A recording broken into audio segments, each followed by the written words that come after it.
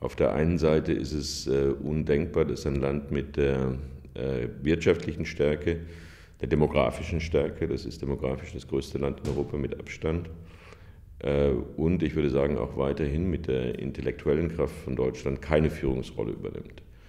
Auf der anderen Seite ist aus meiner Perspektive, mittlerweile einer amerikanischen Perspektive abzusehen, dass Deutschland eigentlich keine Konzeption der Außenpolitik hat. Deutschland hat nur eine reaktive Konzeption der Außenpolitik.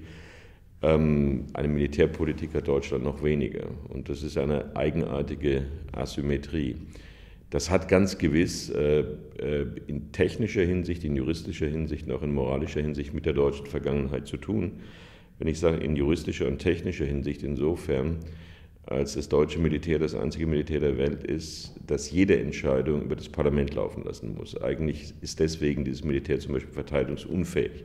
Also wenn man sich irgendeinen Überfall auf Deutschland vorstellt, müsste erst der Bundestag zusammentreten, äh, um zu beschließen, dass Deutschland verteidigt werden darf. Das ist eine eigenartige äh, Asymmetrie, die aus der Geschichte verständlich ist. Äh, zugleich, also wenn man viel in Europa reist, das wissen Sie als Schweizer besser als ich, gibt es in Europa bis heute äh, moralische Vorbehalte gegenüber der deutschen Politik, äh, die historisch begründet werden und auch historisch zu begründen sind. Das kann zum Teil problematisch sein, wie die aus ökonomischen Notsituationen geborene Forderung Griechenlands, dass Deutschland auch heute Reparationen leisten soll. Ähm, wenn ich deutscher Politiker wäre, was ich glücklicherweise nicht bin, würde ich, glaube ich, dagegen argumentieren.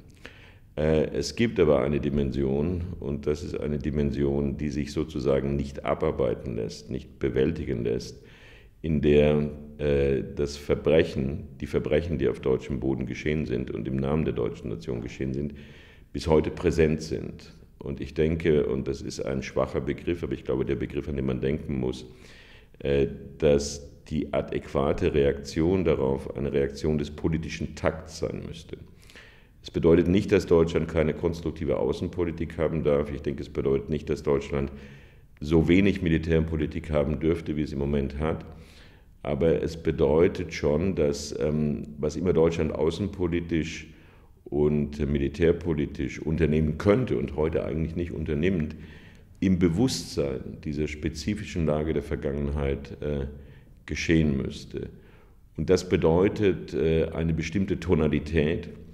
Äh, das bedeutet auch äh, in nicht militärischen außenpolitischer Hinsicht, äh, dass bestimmte Töne der Kraft und der Stärke vielleicht von deutschen Politikern weniger zu vertreten sind, als das für einen französischen oder einen englischen und ich würde als Amerikaner sagen, auch für einen amerikanischen Politiker und für einen Schweizer Politiker ohnehin möglich ist.